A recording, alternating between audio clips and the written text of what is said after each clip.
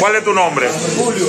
Julio, cuéntanos sobre la situación de un atraco realizado aquí en esta panadería. Bueno, esta mañana estábamos aquí, cuando empezó la lluvia, era, eran eso de las 5 y pico de la mañana. Faltaba como de para estaban aquí eh, eh, hoy trabajando normal como trabajamos. Y vinieron esos desapresivos delincuentes. Y nos caminaron a todos y nos atacaron. Nos tiraron al suelo y nos, nos despojaron de todo. eh. se metían a la oficina, rompieron rompieron el monitor, sacando dinero, todo lo que estaba aquí también le quitaron dinero, a mí mismo me quitaron el teléfono celular que tenía encima, y yo vi dos aquí adentro, pero eso no es lo que yo pude ver dos, pero afuera estaba el carro. Podemos observar un, un tiro como un disparo. Eso, eso, fue, eso fue ellos que lo tiraron.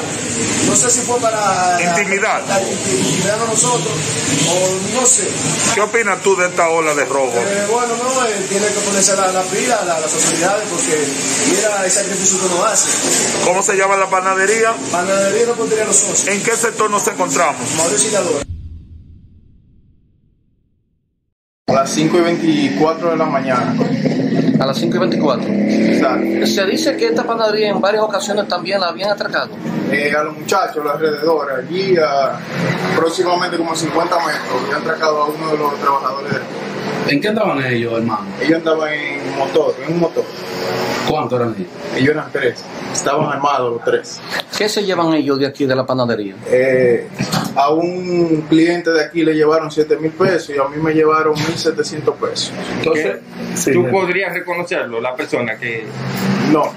Eh, inmediatamente llegó uno, galleta a, a uno de los empleados de aquí y, y otro, mientras lo estaba revisando, le dice que no tiene dinero y cuando él lo revisa y tiene el dinero, le da un cachazo ahí. con la. ¿Llegan ellos como en forma de comprar o de una vez dicen esto es un atraco? No, ellos se, se tiran en la, en la calle y, y, y entran al... ¿Qué? Repítenos tu nombre. Eh, Marconi Martínez. ¿Cómo se llama la panadería? Panadería y repostería Brenda. ¿En qué comunidad nos encontramos? En el Ligüero. Bendiciones.